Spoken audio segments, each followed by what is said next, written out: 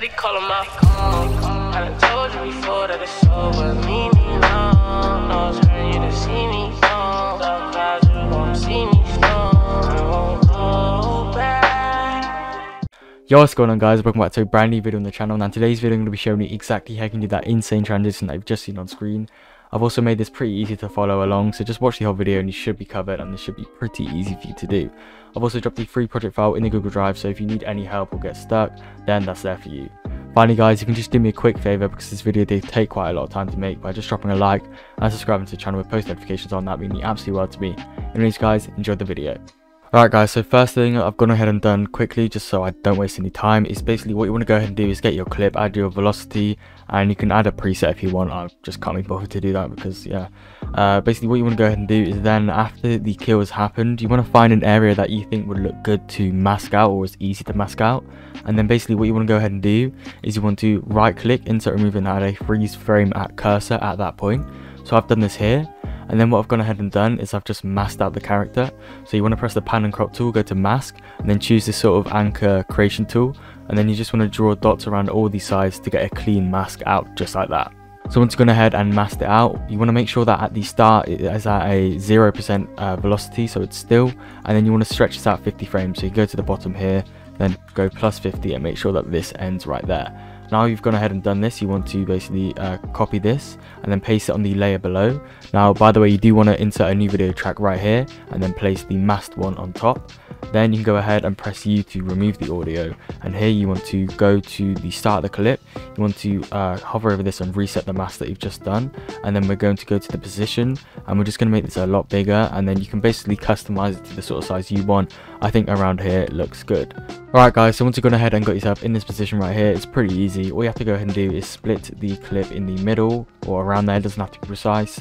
Then you just want to go a little bit after wherever your impact is, split the clip, and basically you want to go ahead and apply your regular transitions. If you don't have these, even though a lot of people in Vegas do already have these, I'll link a video below that I'm pretty sure every single person has got their uh, transitions from. But yeah, they're free, they're easy to download, and there's no point of me making my own because basically everyone has them.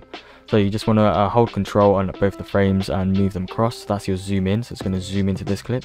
Then you want to go onto effects of this one, and you want to go to zoom in B, and then you can go ahead and apply the same one on the clip below that. So basically all that's going to do is just you know zoom in and make it flow nicely into each other uh, when it's you know rendered it will look much better than that. Then this is what the good part is. What you want to go ahead and do is add my preset which is going to be linked in the google drive below. Just go to the effects use preset manager to download it if you haven't got that. I've made a video on how to use that as well so you can go ahead and check that out if you need to. It's called Taro flip a so this is going to be the flip transition. You want to go ahead and uh, hit ok then hold control and click on every single one of these keyframes here.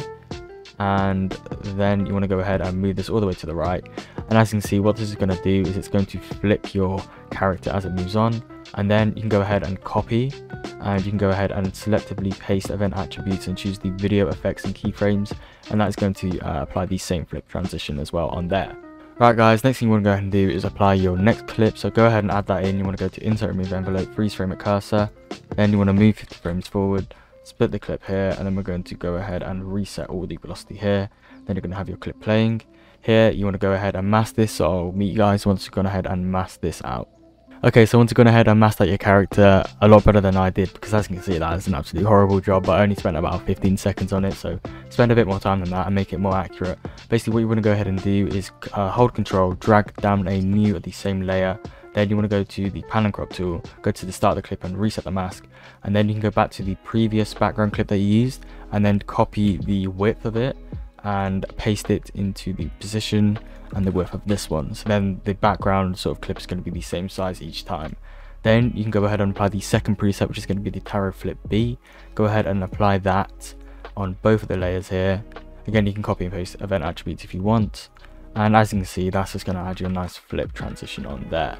Now, the next thing you want to go ahead and do is you want to go ahead and go to both of your layers and then go to video effects, go to shake, if I can I can't spell, go to shake, and then you want to go and choose uh, the default version and just copy the settings I do here. Now make sure you apply this on the whole layer, so it's going to have a little bit of shake. It's going to be not that noticeable, but yeah, it's definitely going to help make the video a lot smoother and cleaner. So as you can see, just go ahead and copy those settings right there and apply it onto the layer above as well. Then you can go ahead and insert a new video track, drop this one below, and then apply any sort of overlay you want. I've got this free one in the Google Drive if you want to go ahead and use that. Now depending on the speed, um, if you're using this specific one here, I would just insert remove envelope and just change this to about 50% just so it's a lot slower. Yeah, it's just a nice compliment in the background. You can basically add whatever you want in the background, whatever you think looks good. You can blur it, you can do anything that you want and that will look absolutely insane. So there you go guys, it's pretty simple, pretty easy to do. You just got to use the presets and again, if you want to go ahead and use the project file, it's going to be in there below so you can check that you've done it completely correct. I'd say it's a pretty easy and so there you go guys, that's the whole effect done. It's pretty easy and looks so so good. You can really, you know, be quite customizable with it. You can change a lot of stuff around. For example, if you want to make the skin look like a sort of cartoon, which uh, I've previously done in videos, which is pretty nice. Just add BCC cartoon look onto the skin. And as you can see, it kind of makes it more defined and I think it looks really, really good. Um, also, you can go ahead and then do this onto the next one and yeah it, it, you can do a lot of things. It's really customizable really good effect. Make sure to go ahead and like the video subscribe to the channel with post notifications on. If you could that would mean the absolute world to me. Also at 3000 supporters i'm doing a free edit pack so make sure you're using code Taro in the item shop. Literally it takes two seconds go into fortnite put in code Taro and you could have a free edit pack soon. And finally if you want to support me and just basically take your editing to the next level make sure to go ahead and check out my editing pack. Link description. It's got absolutely everything you need with more effects just like this. Presets color corrections everything you need Thanks guys so much for watching the video and I'll see you in the next one boys. Peace.